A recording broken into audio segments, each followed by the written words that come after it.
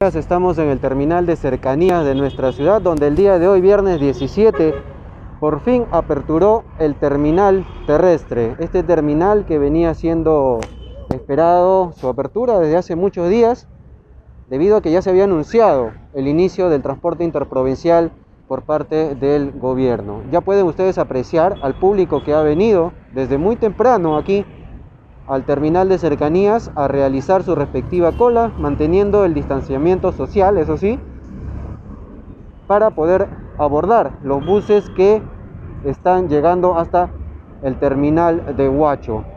Como decimos, es una de las noticias que la mayoría de personas estaba esperando, puesto que hay muchos que ya necesitaban viajar por diversos motivos a la ciudad de Lima, nuestra capital, y el día de hoy ya lo están haciendo. ¿Vas a Lima? Sí. ¿Después de cuánto tiempo?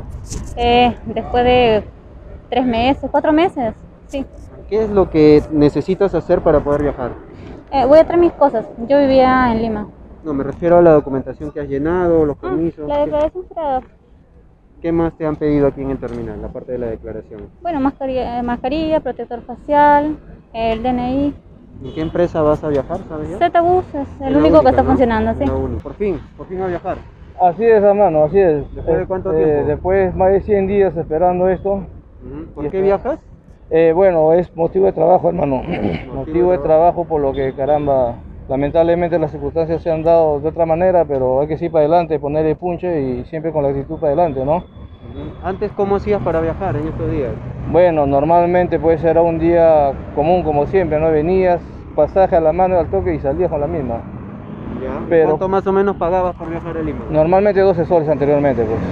¿Dos? ¿Cuánto? 12, 12 soles 12 normalmente. En bus, pero claro. en estado de emergencia, ¿cuánto pagabas? Eh, 70 soles. 70 En- soles en sí, auto. En auto, exacto. Y, y, y jugándotela Y también. jugando todo. Y eso que te dejan en Ancón todavía. En Mancón. Sí. Y de ahí a buscar carro para Y el de centro. ahí a buscar carro para el centro, pues, Bueno, ¿no? Z-Bus, ¿verdad? Z-Bus, así es, hermano. Z-Bus, así bien. Buen viaje. Buen Ok, viaje. Gracias, gracias. Lima. A Lima.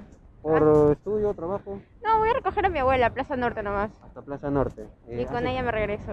Vas y vienes, como se dice. Sí, de verdad que para nada me voy a quedar. Y con las medidas de protección, ¿no? Sí, totalmente, de verdad que totalmente. Noto bastante protegida. sí. Sí, aquí nomás me levantó la mascarilla porque ya bueno, hace como que se empaña también. Eh, ¿Te han dado alguna declaración, algo para llenar? Ah, yo tengo ya llenada, la traje desde mi casa ya. ¿La has impreso en tu Sí, casa? ajá, y ya, ya mismo lo llené. Bien, te agradezco. Gracias, a buen viaje.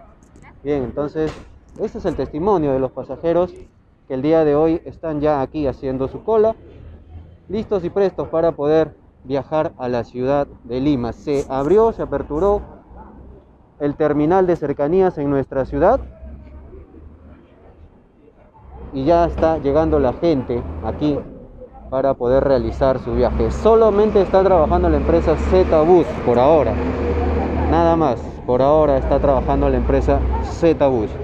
Este es el público que ya está aquí adentro y está esperando a que lleguen los buses. Que imagino la influencia de la afluencia de buses debe ser mínima también, en vista de que recién se están reactivando las empresas de transporte. Y esto también hay que ser, señalarlo porque eh, esperemos que todas las empresas estén en la capacidad de poder activar estos protocolos y poder dar el servicio necesario a nuestros usuarios, sobre todo a, los huachanos que necesitamos movilizarnos a Lima, cumpliendo como siempre los protocolos.